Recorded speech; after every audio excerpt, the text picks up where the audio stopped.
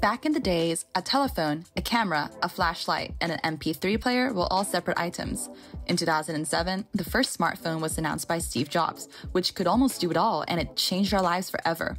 Every once in a while, a revolutionary product comes along that changes everything. It's like a Frankenstein's monster of all these tools and gadgets, and for that, we thank Media Convergence. Media convergence is the joining or converging of distinct technologies into one.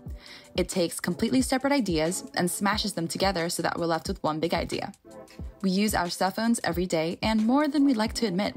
It's become to the point that we don't notice how much media we consume every day, since the more intense our media usage becomes, the more invisible media is to us.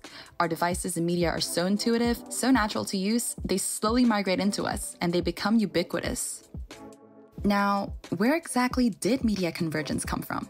Well, it appeared from the digitalization of media content and rapid internet usage, which results in allowing new forms of content to emerge and the transformation of various industries, services, and work practices. First up, technological convergence. Arguably the most significant type of convergence, it is the merging of technologies that allows us to access previously inaccessible technologies on one device. For example, the iPhone. As various media content was once tied to specific communications media or platforms, cinema, newspapers, magazines, radio, and broadcast all had their own purpose. Today, however, due to the World Wide Web, tablets, and smartphones, people can now access all sorts of media within one digital device. This leads to the development of cross media content in which material is provided in different formats through portals and links that are relevant to similar resources. After technological convergence took off in the 90s, industrial mergers and media players began to enter the game of convergence. These giant media players aim to diversify their products across various platforms. Let's pause for a second and go through what, for example, Time Warner owns. Just to name a few, they own DC Comic Universe, HBO, CNN, Time Magazine, and of course, Warner Brothers Pictures. These giants are apparent in every mass media ever, just as Disney or, in a digital sense, Google. People came to Facemash in a stampede, right? Yeah. But it wasn't because they saw pictures of hot girls. You can go anywhere on the internet and see pictures of hot girls. Yeah. It was because they saw pictures of girls that they knew. People want to go on the internet and check out their friends, so why not build a website that offers that friends, pictures, profiles, whatever you can visit, browse around. Maybe it's someone you just met at a party. But I'm not talking about a dating site. I'm talking about taking the entire social experience of college and putting it online.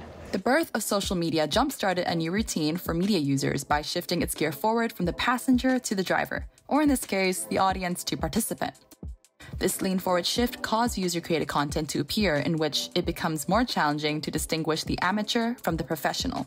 Transparency also becomes one of the media content's production's characteristics, since it is more social, collaborative, and shared. This allows plenty of space for user anatomy and an increase in user participation and diversity to take place.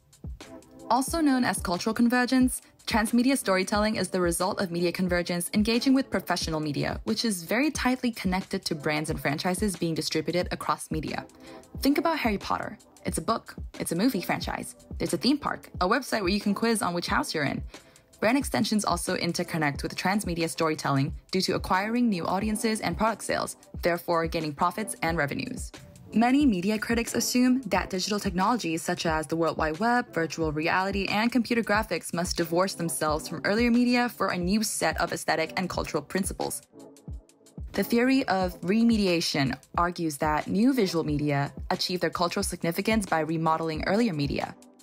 The evolution of media can be observed as just one big chain of remediation photography remediated painting, film remediated stage production of photography, and television remediated film and radio. Based on previous events regarding media convergence and how it continues to evolve, this sphere has a broad path ahead of it.